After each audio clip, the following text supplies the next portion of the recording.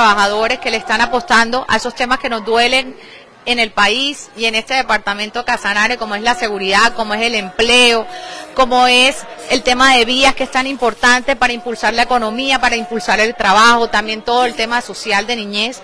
Nos llevamos muchas inquietudes, pero sobre todo el compromiso de seguir trabajando unidos para que el Partido Conservador sea y se convierta en la primera fuerza aquí en el departamento poca eh, pues representación en el departamento, pero realmente casi siempre eh, vemos que los senadores del Partido Conservador solo vienen en temporada de campañas políticas. ¿Qué han hecho ustedes por el departamento de Casanare? Bueno, desde precisamente este ejercicio que estamos haciendo hoy, precisamente este ejercicio que estamos haciendo hoy es para que el departamento sepa y especialmente los candidatos de nuestro partido a, alcaldías, a consejos, a asambleas sepan que el partido es un partido de regiones, que el partido está aquí acompañándolos, apoyándolos, fortaleciendo. Queremos que el partido crezca, pero sobre todo que el partido crezca porque queremos que nuestros candidatos lleven soluciones, soluciones a las necesidades que hoy tiene el departamento y que tiene el municipio.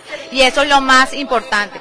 Desde el, desde el Congreso levantamos nuestra voz, por ejemplo, con el tema de la vía al llano, para que se hiciera una mesa para que se hiciera una mesa de trabajo porque conocemos que las dificultades que están pasando a través de las vías, cómo se han incrementado todo el tema de los productos, de la canasta básica familiar, precisamente porque están obstaculizados el tema de vías. Pero este ejercicio que están... ¿Perdón? Nosotros, nosotros solicitamos, pero no nos invitó el gobierno nacional a esa mesa, pero lo solicitamos que se, no, que se hiciera esa mesa y que desde el Congreso de la República apoyaríamos todo lo que se definiera en ese sentido. Me tengo que ir. Y senador, un, último.